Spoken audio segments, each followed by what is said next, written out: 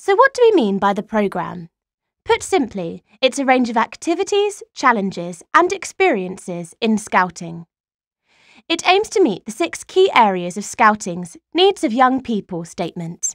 These are to enjoy a fun programme, to make friends and learn respect for others, to develop themselves to reach their full potential, to learn to value themselves and have confidence in who they are, to make informed and responsible choices, to express their opinions and values, making a positive contribution to their communities and the world. The programme is based around three main themes outdoor and adventure, world, and skills. Other underlying themes include leadership, teamwork, and personal development. Top awards like the Chief Scout Awards celebrate the highest achievement that our young people can gain. To achieve these awards in the younger sections, young people must complete all the Challenge Awards, a selection of activity badges and nights away experiences. For explorers to achieve these awards, they need to complete a selection of activities and nights away experiences. Parts of the awards are very similar to the Duke of Edinburgh, so explorers can gain both awards. All young people should be encouraged to complete their Chief Scout Awards. To help them, the programme should be delivered in a balanced way and include elements from each theme.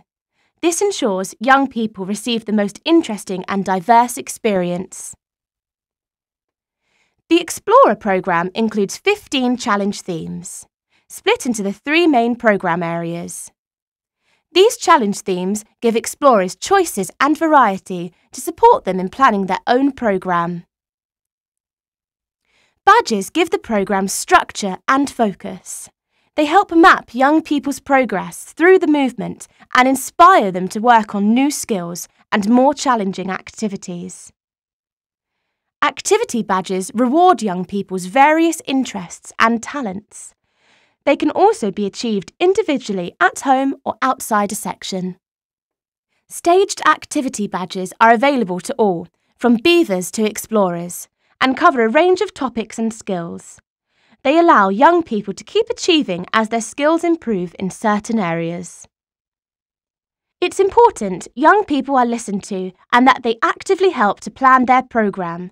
This allows Scouting to become shaped by young people in partnership with adults. It shows young people that they have real input into what they do and makes them proud of their scouting achievements.